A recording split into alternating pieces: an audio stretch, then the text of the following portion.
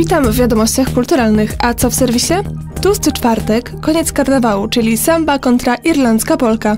Rozpoczyna się nabór do majowych artenaliów. Zapraszam, Marta Kowalewicz, Radio Rotunda. Dziś tłusty czwartek. Dla niektórych to jedyna okazja, aby móc bez wyrzutów sumienia zajadać się słodkościami i pysznościami. Oczywiście największą furorę robi dzisiaj pączek. Posłuchajcie, jaką promocję przygotowała dla Was mieszcząca się obok naszej uczelni bagieteria Budgeta. Wiecie, budżecie jest promocja. Jeżeli ktoś zje jednego pączka bez oblizywania się, dostaje drugiego pączka gratis. Mmm, brzmi pysznie. Może się skusicie. Budgeta otwarta jest do godziny 17. Zapraszam. Pozostając przy temacie tłustego czwartku, posłuchajcie, co o pączkach mówią poznaniacy. Trochę drogo, trochę drogo. 2,51 pączuś, no ale mówi się trudno. Nie jem w ciągu roku w ogóle, dlatego dzisiaj sobie pozwalam, żeby zjeść no tak z tych najlepszych film. Dlatego patrzyłem na ranking wyborczy jaki jest. Na początku pojechałem na Aleję Wielkopolską, teraz tutaj. No i tak po dwa, trzy tam spokojnie dzisiaj zjem, ale w ciągu roku nie jem, tak samo z ogalami majcińskimi, dlatego trzymam się tradycji. Najlepsze są własnej roboty, ale to na głębokim tłuszczu. Nie każdy ma czas, żeby piec, a tu sprawdzony punkt. No, co najmniej z 15. No, trzeba sobie raz dogodzić, jak jest potem Wielki Post, to nie będzie się jadło. Staram się raczej nie obiadać, no ale to może dlatego bardziej smakują, jak się w ten jeden, dwa, trzy dni w roku spróbuje. A wy jedliście już swojego pączka? Środek zimy, śnieg, zimno, ale mamy przecież karnawał. Dlatego też, aby zakończyć go pozytywnym akcentem, w Poznaniu weekend rusza kilka kursów tanecznych. Gorące rytmy pozwolą odgonić na chwilę zimę i zakończyć tegoroczny karnawał na parkiecie.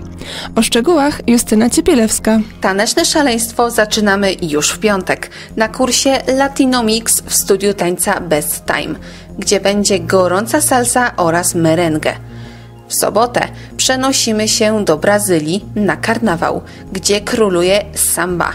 Aby wczuć się w klimat, przygrywać będą bębny. Planowany jest pokaz slajdów z brazylijskiej zabawy. W niedzielę natomiast Tomasz Moskal zaprasza nas na taniec współczesny do studia Salsa Siempre. Warto oderwać się od tej zimowej atmosfery i poczuć powiew karnawałowej samby. Jakie znacie tańce? Tango, czacza, samba, rumba? Tańce bujańce dyskotekowe? A słyszeliście o irlandzkich tańcach folkowych? Posłuchajcie materiału Marty Wierzchowskiej.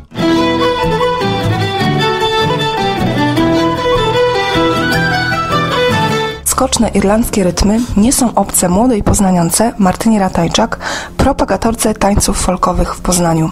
Moja pierwsza przygoda z tak, takimi tańcami właśnie folkowymi czy tradycyjnymi zaczęła się mm, w zespole tańca irlandzkiego Ankoshir. To były takie pierwsze kroki. Pasja Martyny do tańców folkowych trwa już kilka lat.